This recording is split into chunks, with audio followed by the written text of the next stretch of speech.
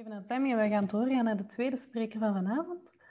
Ehm, dat is Thomas en hij is professor economie aan de Universiteit van Rotterdam. En hij zal vanavond toelichting geven, uh, een kritische blik werpen op de plannen, onder andere op vlak van economie en mobiliteit. Ja, Thomas, we zien je scherm inderdaad. Perfect. Um, ik ga hem muten en dan is het woord aan jou. Uh, prima.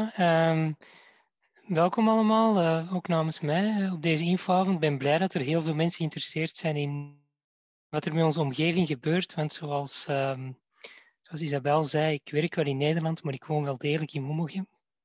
Um, wat er mij gevraagd is om vanavond over te spreken, is om eigenlijk even een, een blik te werpen op de plannen die, uh, die in dat regeringsbesluit staan, die zo net voorgesteld zijn door Gerard. Om even te kijken van, is dat nu een economisch en mobiliteitsvraagstuk op een goede manier opgelost? Um, en om dat even te belichten, heb ik een aantal slides gemaakt en zal ik tien minuutjes proberen jullie wat mijn visie erop uit te leggen. Dus ik heb hier een, een eerste slide waarop ik eigenlijk op de website verkeerscentrum.be slash dagelijkse files even een close-up heb genomen van de omgeving waar wij wonen. En het verbaast niemand dat wij natuurlijk uh, op de E313 en aanpalende snelwegen een donkerrode zone zijn.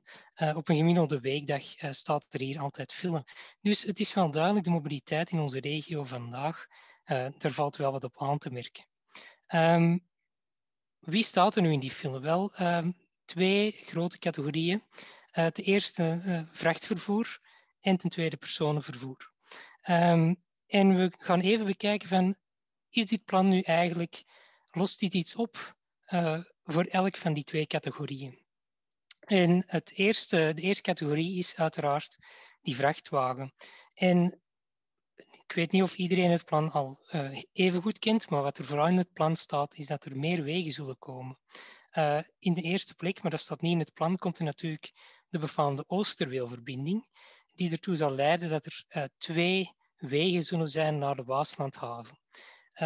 volgens, land, volgens de site van Oosterweel zal het gerealiseerd zijn rond 2030 en ik ik heb nog met de communicatieverantwoordelijke van Oosterweel contact gehad vandaag uh, en dat lijkt een realistische datum te zullen zijn. En dan is er nog iets wat daarbij uh, bovenop komt en dat is het zogenaamde haventracé. En dat is eigenlijk een misschien minder bekend besluit wat genomen is in het kader van die hele burgerbeweging, waarbij men eigenlijk heeft gezegd van kijk, we gaan de A102 verder ontwikkelen als een aparte snelweg die het rondpunt, zoals wij dat kennen, het rondpunt van Wommegem, verbindt met uh, de Noord. En die zou dan grotendeels ondertunneld worden. Uh, dat project, en Dirk weet dat beter dan ik, de volgende spreker, want hij zit in, dit, in de werkbank die dat mee begeleidt, dat zit momenteel in de planningsfase. Natuurlijk, ehm, in het plan zoals het nu voorligt en in het besluit is een sprake van een gevoelige uitbreiding van de E313 naar vijf rijstroken. en dat is natuurlijk enkel nuttig als er ook er een plek is waar die auto's naartoe kunnen rijden. Als we enkel de E313 verbreden, dan heeft dat natuurlijk geen enkel nut. Uh, en daarom zal dat dan pas gebeuren als die andere uh, projecten gerealiseerd zijn. Dus in elk geval spreken we eigenlijk nog wel over een redelijk lange termijn. Um, goed, we kunnen ons natuurlijk afvragen van willen we eigenlijk al dat verkeer wel op de weg? Willen we niet eigenlijk dat verkeer op een andere manier uh, laten verlopen? En een van de eerste mogelijkheden is natuurlijk scheepvaart. En uh, omdat we naast het Albertkanaal zitten, kan je zeggen van eigenlijk waarom zetten we die containers niet gewoon op de boot? Uh, en ik heb hier één ding, uh, ik heb hier een kaartje van dat we daarnet ook hadden. En wat ik hier heb aangeduid zijn de twee sluizen die in onze buurt liggen. Dat zijn die van Weinigem en die van Olen. en daartussen heb je natuurlijk een vrij lange corridor Albertkanaal. en wat misschien niet zo gekend is, is dat er eigenlijk al een soort containerterminal bestaat in dit traject, namelijk Antwerp Eastport in Grobbendonk. En die containerterminal ehm, is eigenlijk momenteel operationeel. Uh, dus die kan eigenlijk voorzien in het soort van modal shift, in het soort van vrachtwagens overladen op schepen om ze dan richting de haven te begeleiden. Ehm, en dat is nu net wat men ook eigenlijk voorstelt als een van de eerste mogelijke ontwikkelingen die men op de keer zou willen doen. We kunnen ons afvragen van kijk, is het wel zo nuttig dat we hier op de keer, eigenlijk dichter bij de stad en los al in het gebied waar de files al staan, dat we daar nu die uh, vrachtwagens pas overlaten op schepen, kunnen we dat eigenlijk niet beter gewoon veel verder van Antwerpen doen, bijvoorbeeld in Antwerp Eastport. Want het is niet dat die schepen nog een extra sluis tegenkomen of extra vertraging op hun weg naar de Antwerpse haven. En even zo goed um, kunnen we ons afvragen, um, wat, zal die, uh, wat is een van de punten die in de plannen vervat zit, is net dat we hier op de E313, E34 ook een terugkeerstrook zullen hebben. Dus we zullen van Grobbendonk eigenlijk naar Turnhout kunnen afslagen uh, hier aan het vernieuwde uh, knooppunt, zoals het wordt voorgesteld. Dus wat kunnen we nog voorzien? Wel, uh, we kunnen ook denken aan het spoor uiteraard. En in de plannen staat effectief, uh, staan wat woorden over de tweede spooraansluiting van de Antwerpse haven. Nu, vandaag stond er nog een artikel in de Standaard waar eigenlijk werd gezegd van het probleem van het spoor is niet zozeer de capaciteit, het probleem van het spoor is vooral dat het zeer inefficiënt uh, werkt en dat het zeer duur is om te gebruiken, vooral omdat het eigenlijk zeer weinig flexibel is. Uh, dus misschien moeten we daar eerder op inzetten dan op het leggen van uh, momenteel uh, nog meer spoor. En dan hebben we natuurlijk als Wommegymnaren en Randstenaren en Oelegymnaren um, onze lokale probleemkinderen op het gebied van mobiliteit. Uh, en dat zijn namelijk een aantal industrieterreinen die eigenlijk niet echt goed ontsloten zijn op dit moment, waardoor er heel veel verkeer door Weinigem, door Wommegem en door Randst eigenlijk moet op dit moment. Uh, en dat is de Hoge Keerterstraat en het Jacobsveld. Natuurlijk, door wat ik net gezegd heb, uh, door te wachten totdat heel die Oosterweelverbinding gerealiseerd is en om dan alles in te zetten op een extra oprit aan de Q8, uh, schuiven de oplossing voor die problemen ook meteen 15 jaar in de toekomst. En we kunnen ons natuurlijk de vraag stellen of dat, dat nu echt de bedoeling is. Um, we weten ondertussen ook, uh, en dit was recent in de Gazet van Antwerpen, dat de files op dit moment ons al banen kosten uh, in onze omgeving. Dus in dat opzicht um, is dat misschien gewoon wel te laat. Um, en bovendien, en dat is denk ik een, wel een positief punt in het plan, uh, waar zeer goed rekening wordt gehouden met als we nieuwe industrie gaan ontwikkelen, kunnen we die überhaupt wel ontsluiten voor verkeer. En zo is onder andere eigenlijk die zwaaikom in, in, uh, in Randst uh, onder vuur komen te liggen en zouden we die nu gaan herbestemmen als een waterreservoir voor Waterlink. Ik denk dat dat naar mobiliteit toe een heel goede beslissing is, want als we nadenken over die site, zie ik niet in hoe we die eigenlijk op een goede manier hadden kunnen ontsluiten.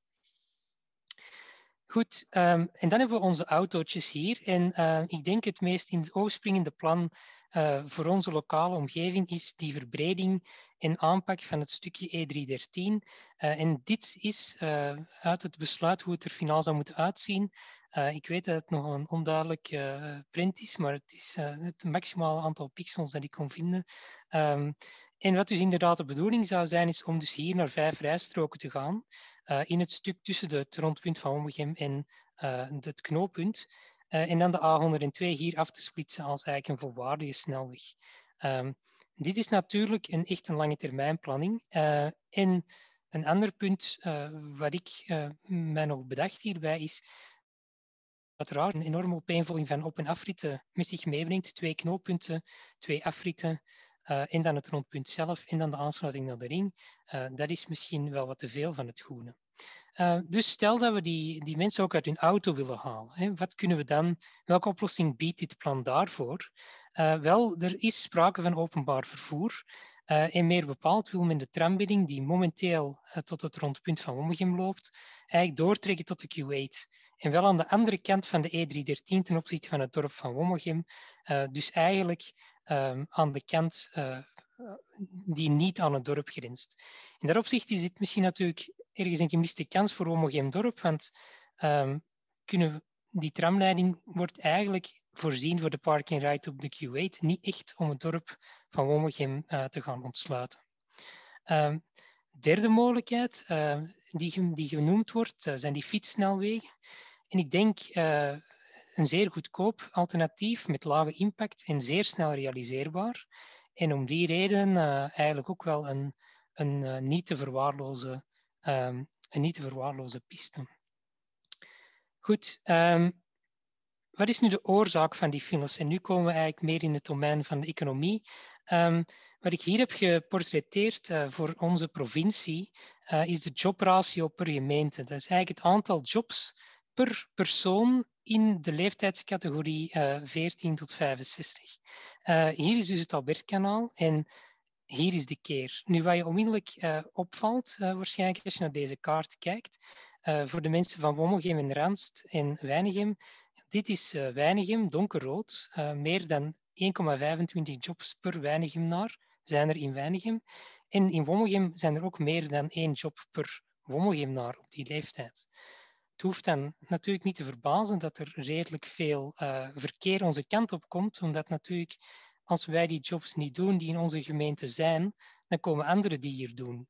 Uh, en in dat opzicht is het niet te verwonderen dat wij een influx aan verkeer te verwerken krijgen. Wat zal het verder ontwikkelen van de keer op economisch gebied met een nieuw groot bedrijventerrein natuurlijk met zich meebrengen?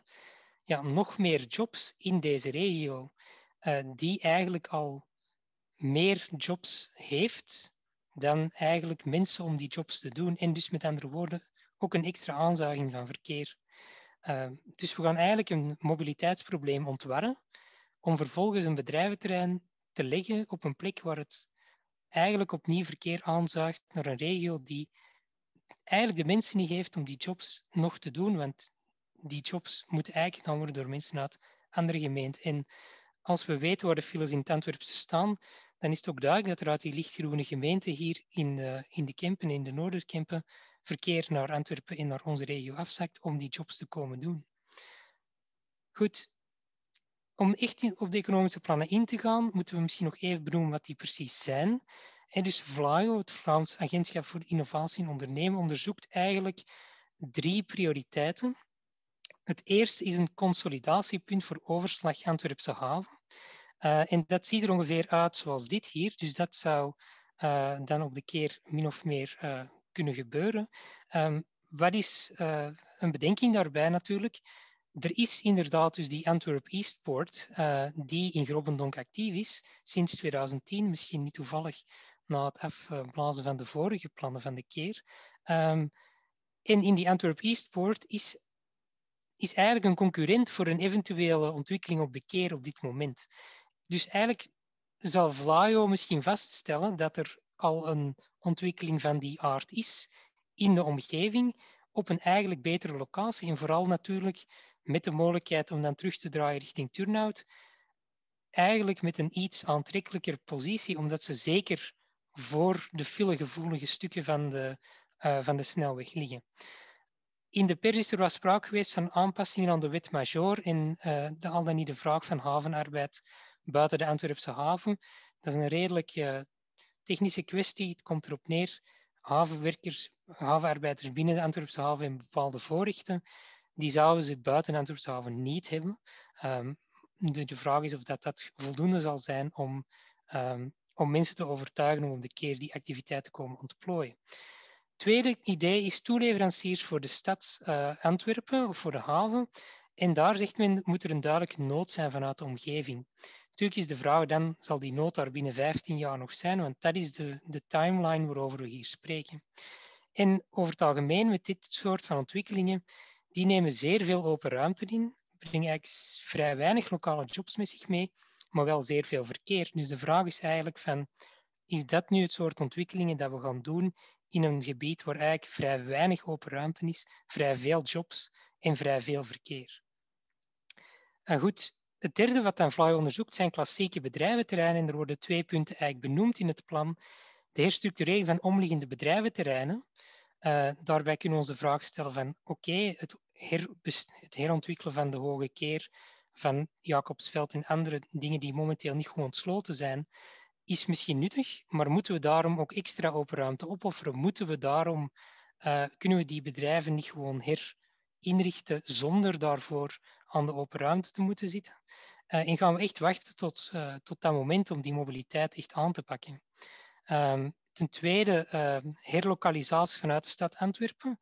Daarbij kunnen we ons de vraag natuurlijk stellen waarom verplaatsen we jobs überhaupt naar deze locatie, uh, die al een hoge jobratio heeft, hoge verkeerslast heeft, zelfs na die enorme investeringen nog altijd waarschijnlijk enorm veel verkeer zal aanzuigen en dus in die zin nog steeds bijna op capaciteit zal werken en momenteel ook geen openbaar vervoeraansluiting heeft om uh, daarmee te besluiten, zoals Gerard ook al zei, er zijn enorm veel onzekerheden hier. Uh, en alles is in planfase, dus alles is eigenlijk nog in zekere zin speculeren. Um, en de voortgang van de geplande werken is natuurlijk een eerste voorwaarde om zelfs op de keer iets te kunnen ontwikkelen. De impact van die geplande werken, en dan bedoel ik de mobiliteitswerken, daar moeten we ook nog op wachten. Gaan die de vooropgestelde verbetering van de mobiliteit ook meest, met zich meebrengen in de praktijk? Um, we hebben de impact van corona en van innovaties. En om er eentje te noemen, thuiswerk en de e-bike. Wie had gedacht 15 jaar geleden dat we massaal de pedelec zouden gebruiken? Vandaag is dat een reëel alternatief voor de auto voor veel mensen. Uh, en natuurlijk zijn wij als, als actiegroep en uh, als geïnteresseerde bewoners zeer benieuwd naar de bevindingen van het FLAIO over wat zij denken dat nuttige besteding zou kunnen zijn van die van die bedrijfsterreinen. Zo. Dus we zullen dat zeker op, opvolgen en we keep you posted op, op, dat vlak. Zo, Isabel, dat was min of meer wat ik te vertellen had. Um,